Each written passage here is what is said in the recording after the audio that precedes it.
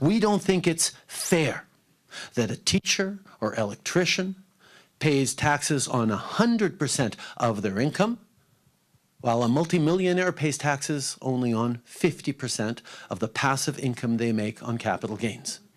So we're going to make them pay a little more. This tax will not apply to anyone's primary residence. And so 99.87% of Canadians will not pay a cent more tax. Those who will will be those who've benefited from an economy that seems tipped towards them and away from everyone else, particularly young people.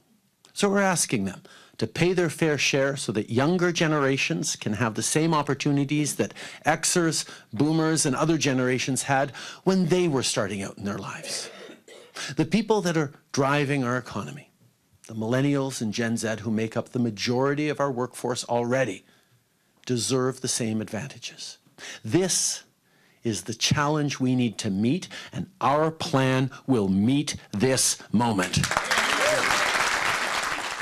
Conservatives have already said they're voting against this budget. They're voting against fairness. They will be voting against asking the ultra-rich to pay their share. Canadians need responsible leadership right now. Leaders who come to them with solutions, ready to invest in Canadians' ideas and Canadians' futures.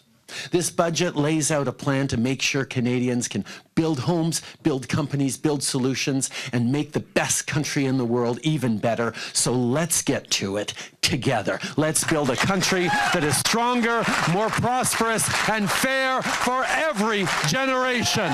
Merci, mes amis.